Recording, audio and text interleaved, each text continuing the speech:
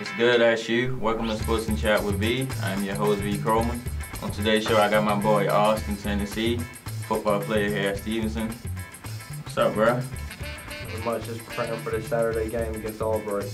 Seems like you guys picked up right where you left off last season with turnovers, man. You led the nation last year. and first game, you got six. Of Is that something you guys are big on doing again this year, leading the nation? Yes, sir. Uh, we like to we like to force turnovers. You know, that's what we like to do in the backfield. Uh, Billy Lewis is great at safety. Jimmy Lauer, Daniel Flo, they're they're great young guys that just like to be around the ball and fly around and make plays.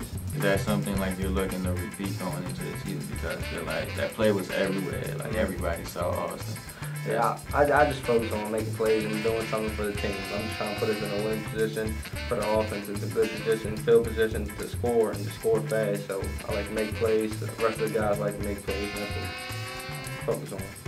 I know you're on the defensive side, but like, how do you feel your offense will fare this this season going Uh, forward? they're doing pretty well. Dan Williams at quarterback. We have a good wide receiver corps with Quan Ellison, Devin Salisbury, Preston and Dew. They're good guys that can make plays at any time. So they're very explosive, and we'll see those guys this Saturday. yes, sir.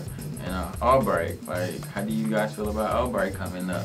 Albright's a good team. You know, they always have a good offense, good defense, uh, great coach on that side.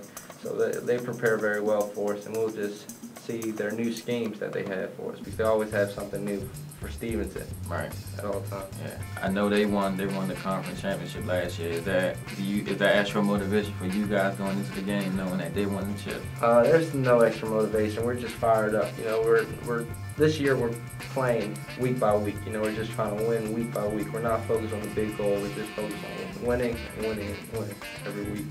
And what is the big goal? Uh, we're trying to win the national championship, conference championship. and national championship. We have the team to do it. Every team to do it. Well, folks, you heard from the man himself, Austin, Tennessee. I know they will get that win this weekend. Um, thank you for tuning in with Sports and Chat with V. Have a good one.